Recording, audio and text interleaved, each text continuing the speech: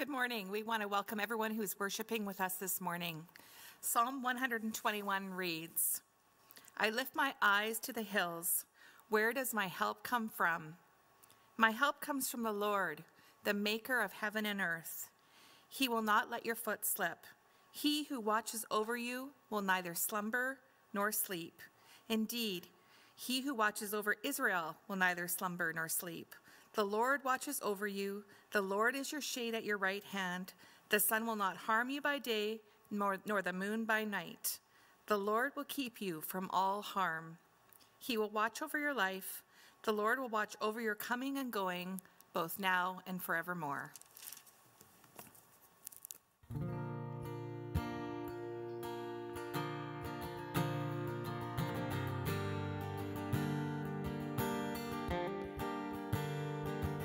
The splendor of the King, clothed in majesty.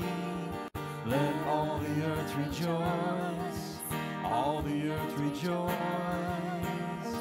He wraps himself in light, and darkness tries to hide, and trembles at his voice trembles at his voice.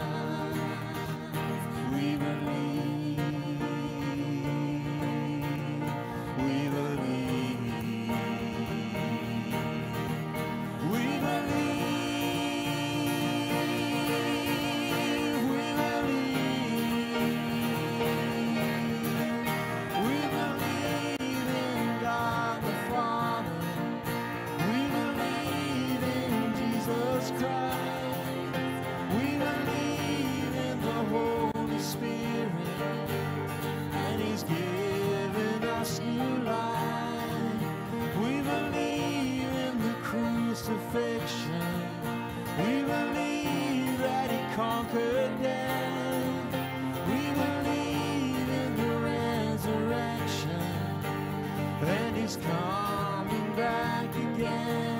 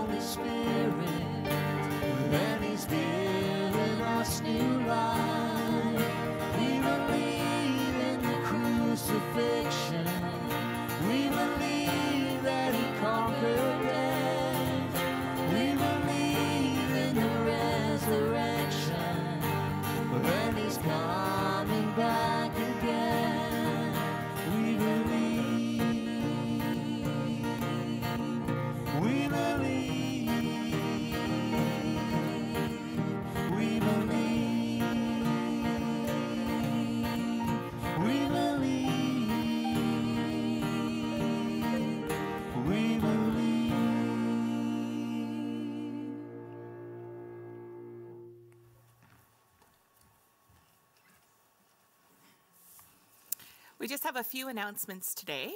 Um, first of all, just a reminder that we're continuing to take a break from all our church activities this week. Um, the great thing that is coming out of all of this is that we are finding ways to care for each other um, in not physical ways, but in other ways where we can stay connected.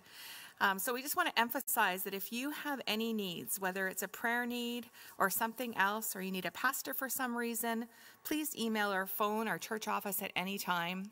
Also, if you have some extra time and you're looking to do something, um, there is opportunities to call each other as well as write cards or help in other ways. And again, just email the church office and we will let you know. Thank you.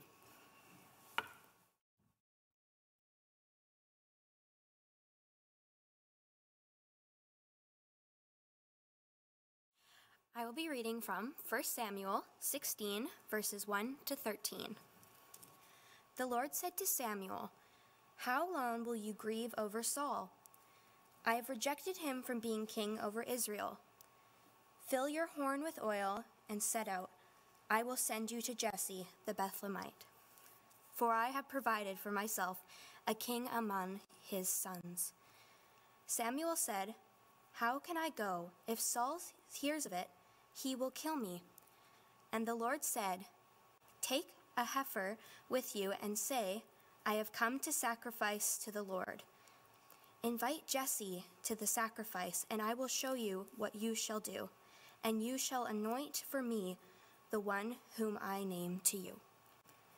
Samuel did what the Lord commanded and came to Bethlehem. The elders of the city came to meet him, trembling, and said, Do you come peacefully? He said, I have come to sacrifice to the Lord. Sanctify yourselves and come with me to the sacrifice. And he sanctified Jesse and his sons and invited them to the sacrifice.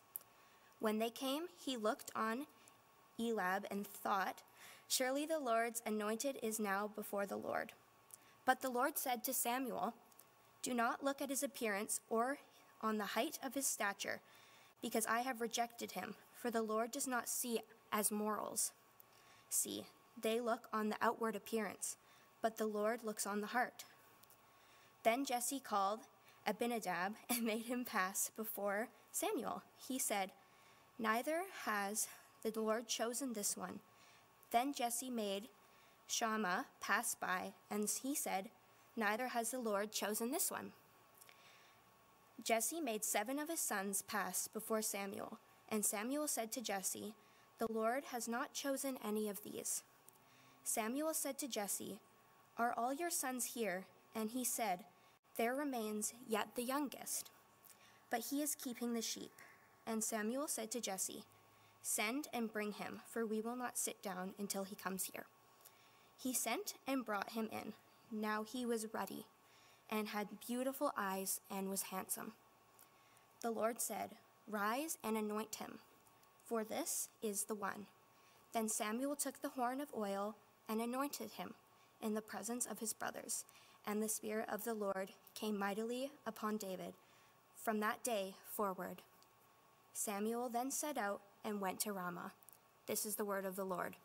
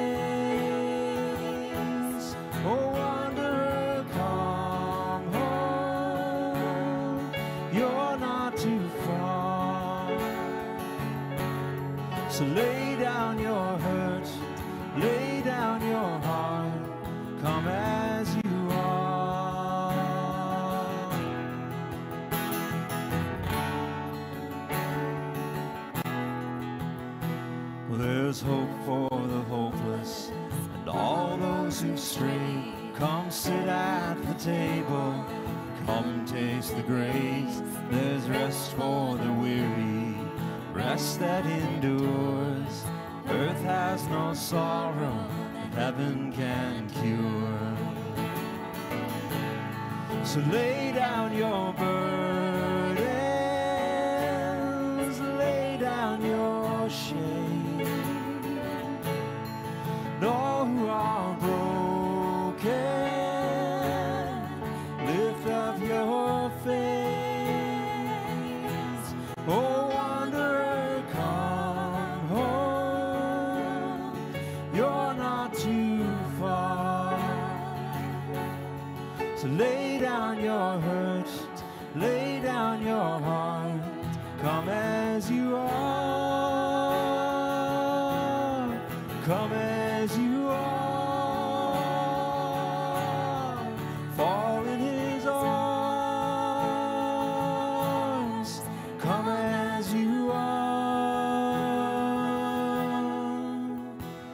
There's joy for the morning. Oh, sinner, be still.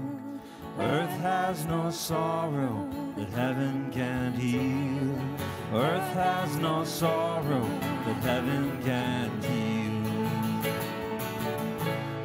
So lay down your burdens,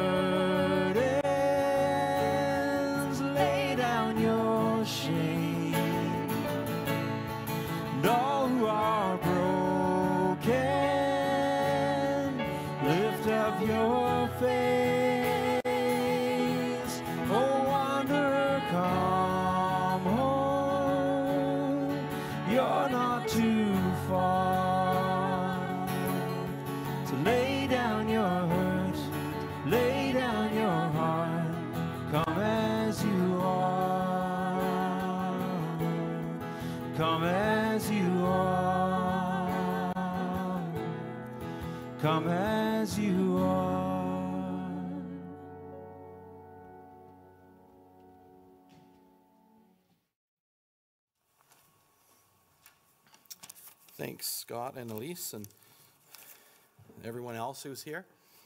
Uh, it's good to be together this morning. Um, I've been asked uh, that uh, if we could just pray, so let's bow our heads and uh, pray together. Father, we just thank you for the opportunity of just being together, even though it's online and it's a bit strange. Um, we just thank you that this is our community and uh, that we can uh, be together.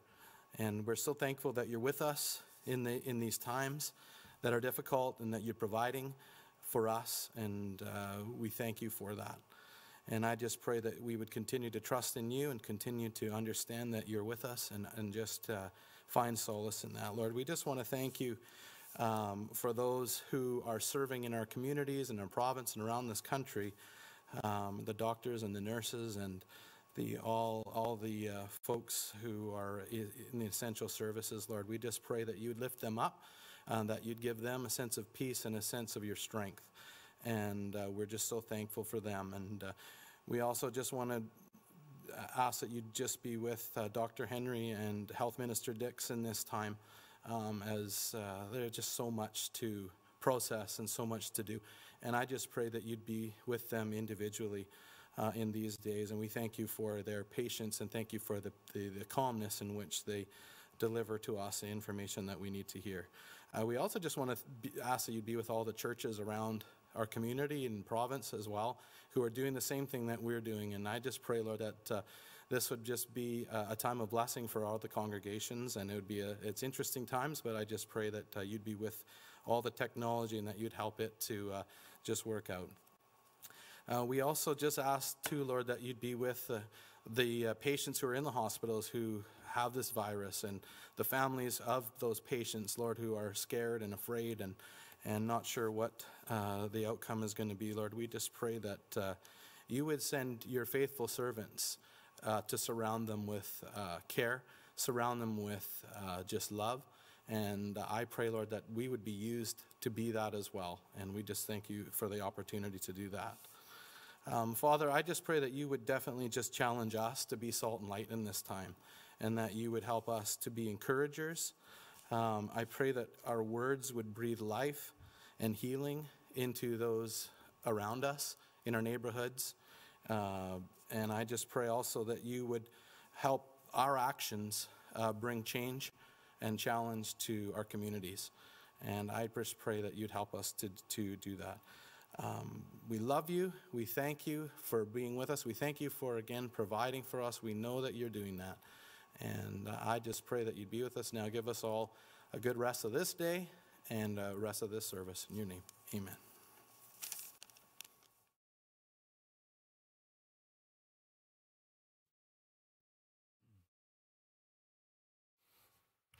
Good morning. It's great to be together in uh, this hour of worship with God. And uh, here we are in the fifth Sunday of Lent. And we have a really great passage this morning we're going to talk about from 1 Samuel. And uh, I'm so pleased that we can share the word of the Lord together this morning. Now, first, we'll begin with a bit of context, and then, as we usually do, we talk about in the text, and then finally some application, what we call from the text. And let's begin with a bit about 1 Samuel. 1 Samuel is the story of the transition from the tribal confederacy to the establishment of the monarchy in Israel. The first 12 chapters of 1 Samuel are the story of uh, Samuel and the drama of the appointing of Saul as the first king. Chapters 13 through 31 are the story of Saul himself and the early signs of trouble with his leadership that and his eventual replacement by David as king. And then David's reign begins in 2 Samuel chapter 5. So that's that's the layout, the general layout of this part of the Bible. And I'm glad that we get to look at this transition from tribal confederacy to monarchy because it's a major juncture in the history of Israel. Remember, the tribal period is something like 250 years after they enter the promised land. So that would be like the modern history of Canada or the U.S. from the signing of the Declaration of Independence. And the winds of change are blowing, and something really significant is happening in God's nation. And that's where we find ourselves as we jump into the story at chapter 16 of 1 Samuel. And let's just say the monarchy is not going too well. The backstory here is that the 12 tribes have muscular and aggressive enemies all around them. And primarily the Philistines, you remember Samson and his struggles, I'm sure, in Judges 16. The Philistines are a big problem for Israel during and after the tribal confederacy period, and they're, they're mustering for war against the 12 tribes of Israel in 1 Samuel chapter 4. Now, the first battle that is joined was won by the Philistines.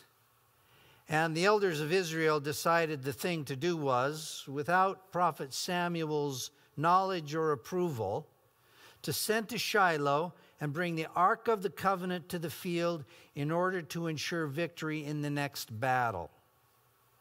The point is, the elders of Israel attempt to lead God where they want him to go. And they think, well, if we take the ark into battle, God will have to deliver us, won't he? But sadly, the ark is captured by the Philistines and the Israelites are routed.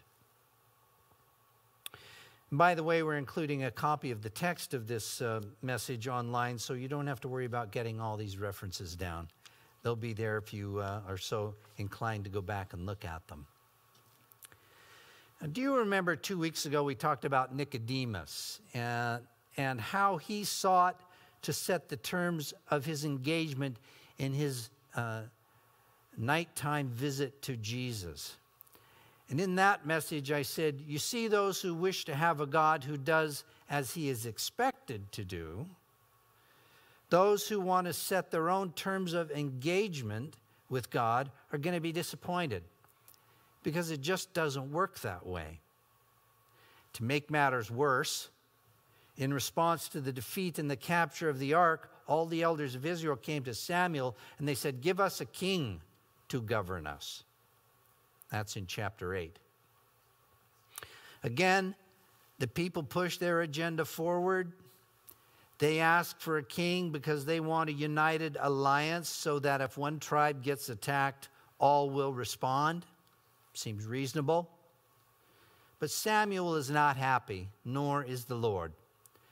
And the Lord really just throws up his hands and relents, and he says, Fine, let's do what they ask. Let's give them a king. They rejected me as their king, not you, Samuel. But do warn them what a king will do. And then that happens in famous chapter 8, the warning against kings. He'll take your money, he'll take your land, he'll take your livestock for his courtiers and his war coffers, he'll take your sons off to battle, and your daughters as perfumers, cooks, and bakers, it says in chapter 12. But still, the people refuse to listen, and the monarchy project goes forward. Well, let's talk about the persona of Yahweh here for just a moment. In this story, he's not that distant, transcendent figure that we tend to think of in Trinitarian theology. Even in the New Testament, we find that God is sort of off stage, directing things from a remote place of omnipotence. He uses Jesus and the Spirit as his presence, capital P, in the world. Yes, there's a transfigured Christ. There's a bat kol, a voice from heaven, but never really God himself on the scene. But it was not so in those early, messy days of the tribes and monarchy. Yahweh is right in there mucking about with the people, dealing with their self will and disobedience, evincing divine exasperation working back and forth with his people, sometimes rewarding them, sometimes punishing them. It's very hands on, it's very parental, even motherly, this Old Testament Yahweh. And you see that here. One person said it is God's reluctant agreement to kingship. Fine, let's give him a king if that's what they want. So, Saul is anointed king in chapter 9 of Samuel. And there's this amusing narrative thread on Saul up to chapter 16, where our reading picks up today. And it, it just seems like he was a bit of a Fabio in appearance. And in 9 1, it says Saul was a handsome young man. There was not a man among the people of Israel more handsome than he. And he stood head and shoulders above everyone else in chapter 10, when he, Saul, took his stand among the people, he was head and shoulders taller than any of them. Samuel said to all the people, Do you see the one whom the Lord has chosen? There was no one like him among all the people. And all the people shouted, Long live the king. Even Samuel seems to be quite taken by, these, by this tall, handsome fellow, Saul. Initially, the change in Saul's life was dramatic. God gave him another heart, says in chapter 10. And after his anointing, he even danced and twirled and sang with the prophets in a prophetic frenzy.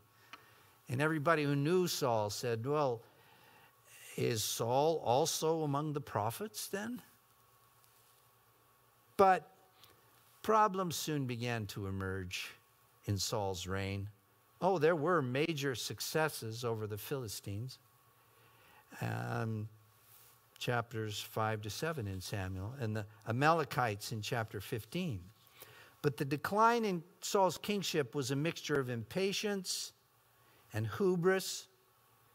He did not wait for Samuel at Gilgal and offered a burnt offering. There was rash action. He vowed to kill anyone who ate from the spoils um, uh, but his, his son Jonathan did when they battled the Philistines. Saul was actually a weak leader. And in chapter 15, when God specifically commanded that the Amalekites, the spoils, be destroyed, he let the people take them anyway, made excuses. So the word of the Lord came to Samuel. Um, and he said, I regret that I made Saul king, for he has turned back from following me, and he has not carried out my commands. So the old king must go. The new must be chosen and installed clandestinely, and you see how messy it all is. You see how human it all is. So Samuel travels secretly to Bethlehem to the house of Jesse at God's direction, for one of Jesse's sons will be the new king. And that brings us up to Samuel chapter 16. Now, when they came, it says, Samuel looked on Eliab, the oldest and tallest of Jesse's sons, and he thought, Surely the Lord's anointed is now before us. But the Lord said to Samuel, don't look on his appearance or on the height of his stature, because I've rejected him. For the Lord doesn't see as mortals see, they look on the outward appearance. But the Lord looks on the heart. But as he brought the rest of his sons by, I like the one named Shema, which is Hebrew for listen, which I always thought was a good name for a child. It just saves so much time. The Lord has not chosen any of these, Samuel said to Jesse. Are all your sons here? And he said, Well, there remains yet the youngest, but he's keeping the sheep. And Samuel said to Jesse, You send and bring him. Now he was ruddy and had beautiful eyes, and he was handsome too. And the Lord said, Rise and anoint him, for he is the one. Now it's true he was handsome but he was short. So tall Saul, small David. He was just a boy, really. Yet one writer said David represents the highest expression of kingdom under the rule of God. For God looks on the heart. And how foolish we appear when we are preoccupied with how we look on the outside and we neglect the health of the heart. Besides, with all the salons closed in five or six weeks, we'll know what everyone's real hair, hair color is anyway.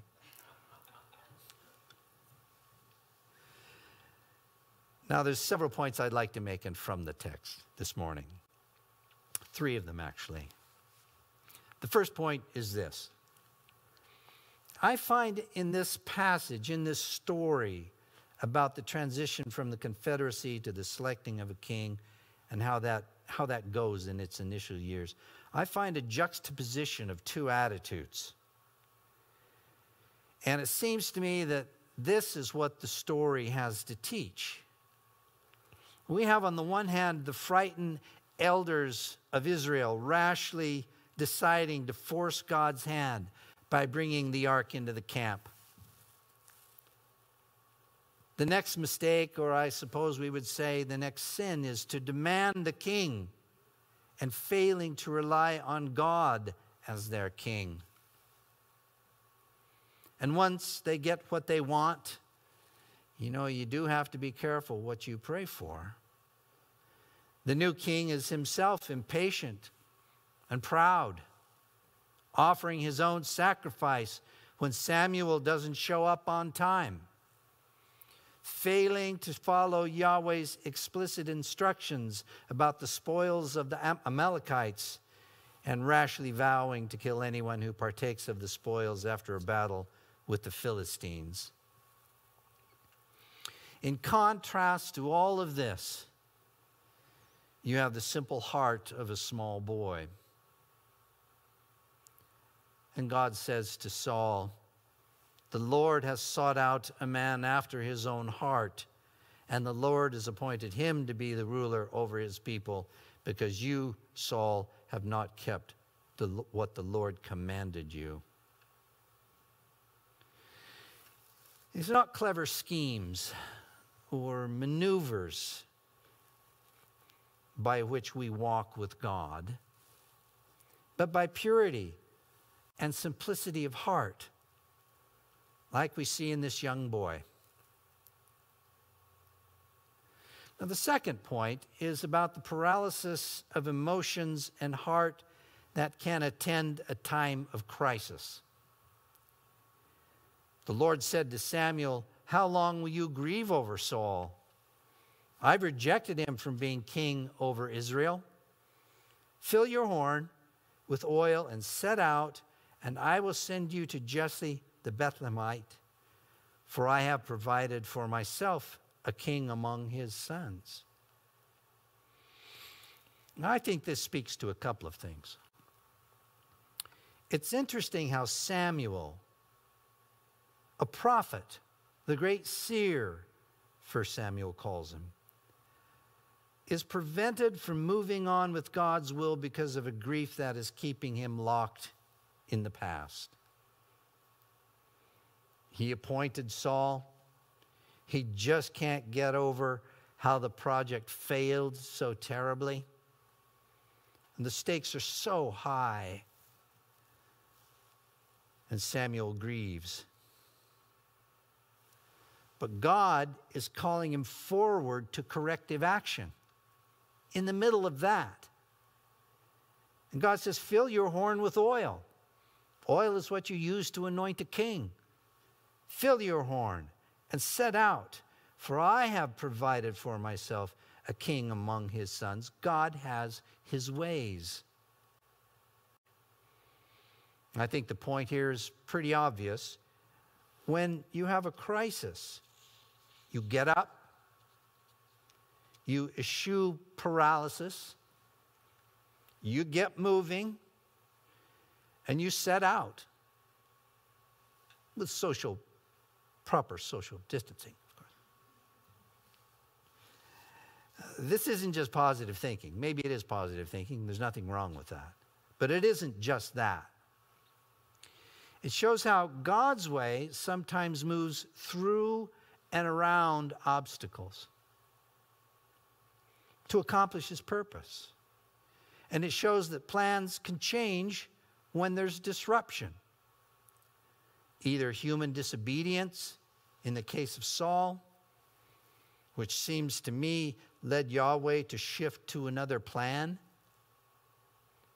David as king, or a seeming catastrophe of a pandemic or a loss of income or persecutions in Jerusalem that drove the disciples out and away from their familiar setting and so set the gospel on its global path.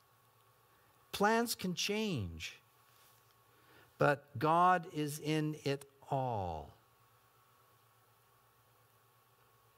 And the deciding factor as to whether things continue to move forward in God's will is the heart of determination of his servants. Fill your horn with oil, set out, for I have provided for myself a king among his sons.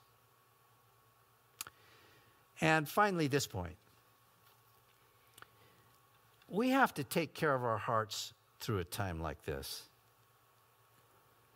I understand that there's a new, um, a, a, new thing kind of going around uh, on the internet called Protect Your Heart.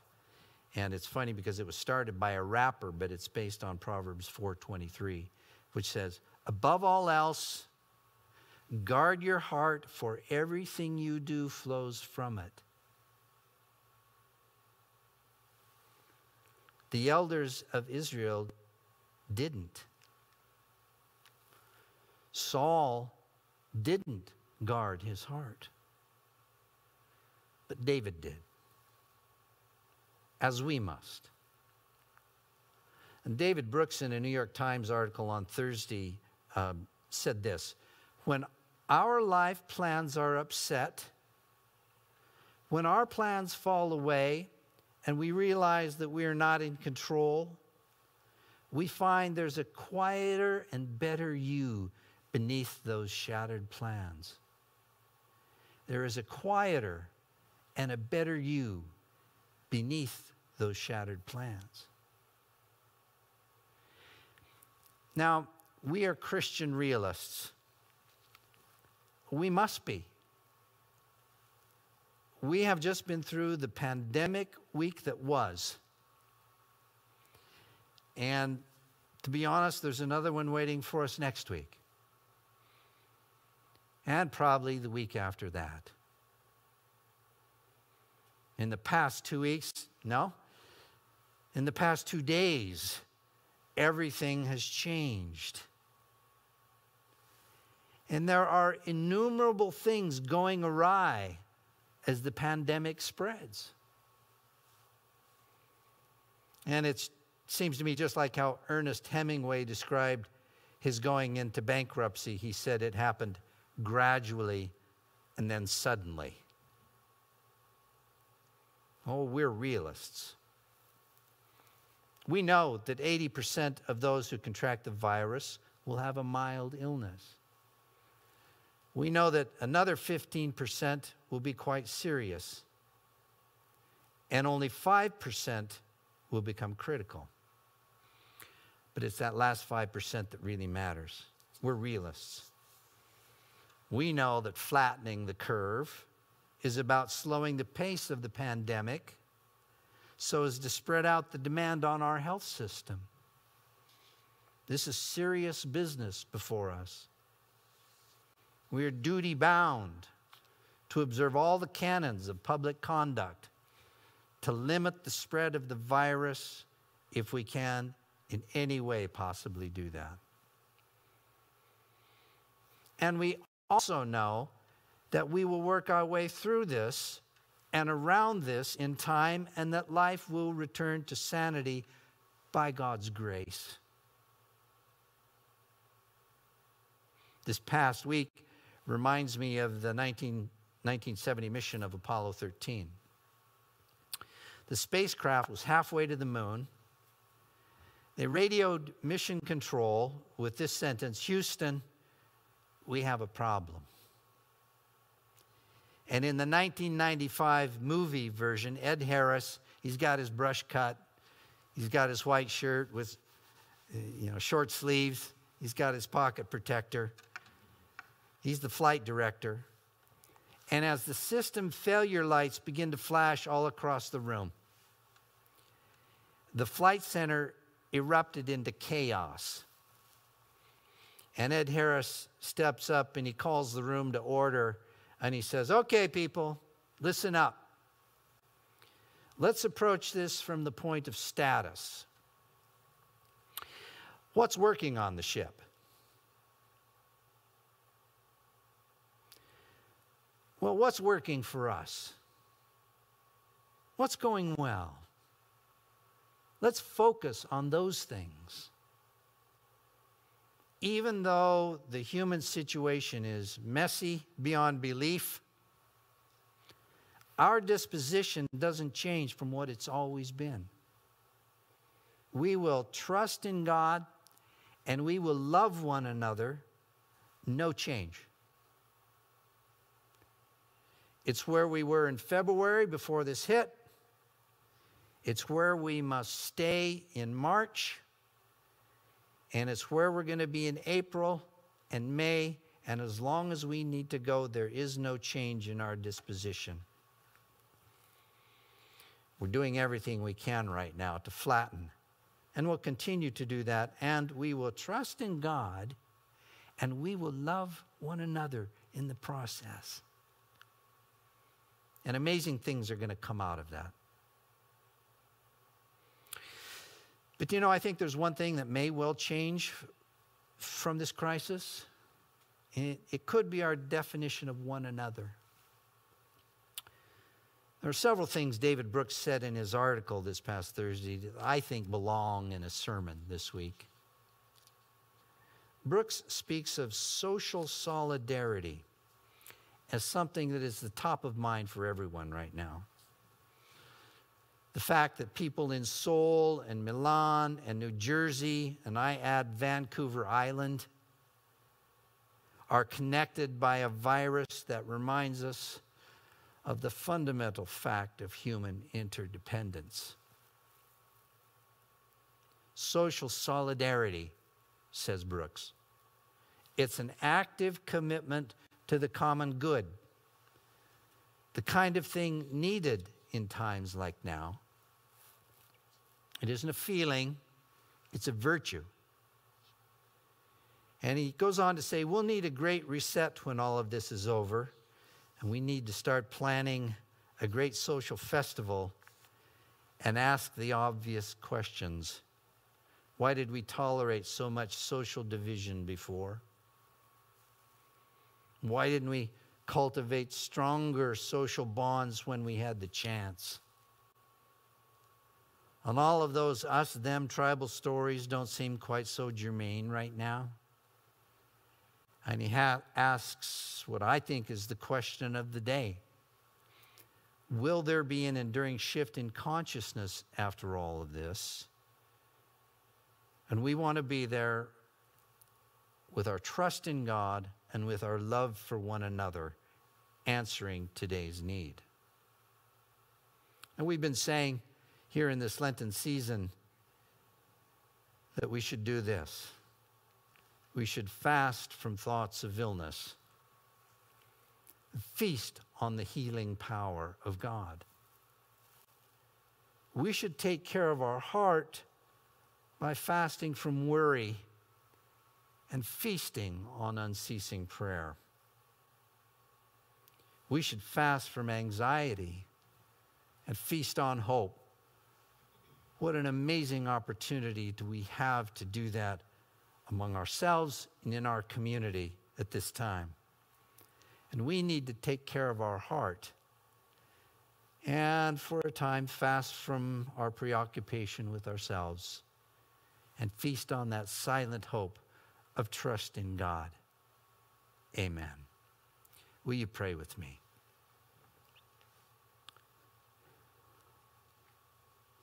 Well, Lord, our need is so great in this day, and we are facing things that even a few days ago we couldn't have imagined would be before us. Never was there a time when we all needed to pull together as a people, not just as a church, but as fellow citizens across Canada and around the world to do everything we can to preserve our way of life, to keep people from illness, and to heal those who need care. We ask you, God, to descend upon us, to carry us through these days, and at the same time put, put hope in our heart and help us to see that nothing has changed, that we will go on to trust God and love one another, and we'll do it in Jesus' name. Amen.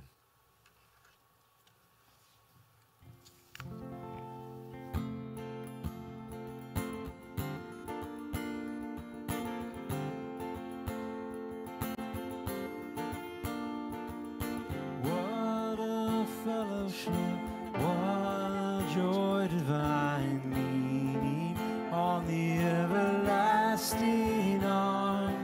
What a blessedness, what a peace is mine, leaning on the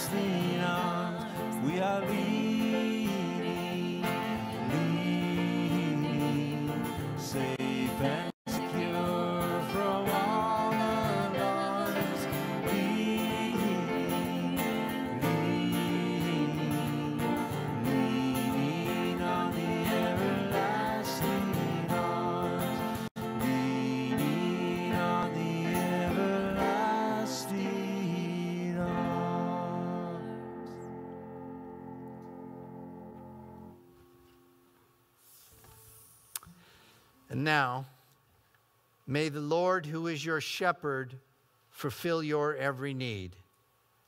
May he lead you to green pasture and give you rest beside the still waters.